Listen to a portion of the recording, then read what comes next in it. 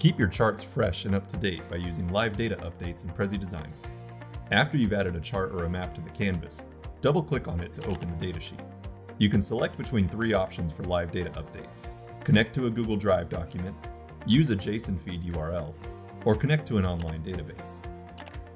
When selecting Add Google Drive document for the first time, you'll need to connect your Google account to Prezi Design. Next, pick the document you'd like to use and then select.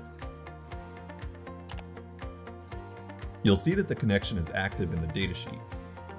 Now, when you make any changes to your Google Drive document, you'll see them appear in your project, including anywhere you've embedded your project. Charts and maps are updated approximately every 10 minutes. If you want to speed up the process from the editor, you can choose Reload at the top of the datasheet. If you want to end the connection, select Disconnect. To connect to a JSON feed, select Add JSON Feed. When you enter the JSON feed URL in the pop-up window, make sure that it's in the proper JSON format. Then, choose Update. Your chart is now connected to the JSON feed, and updates will be displayed when you make any changes to your JSON file. For the third option, choose the database icon at the top of the datasheet.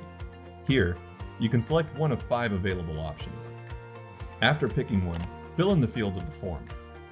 Enter the host name or IP, the port number, the database name, as well as the username and the password. Then, add the SQL select statement and update once you're done.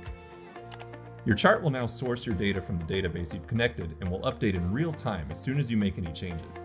And that's it. Keep your audience up to date with live data and Prezi Design.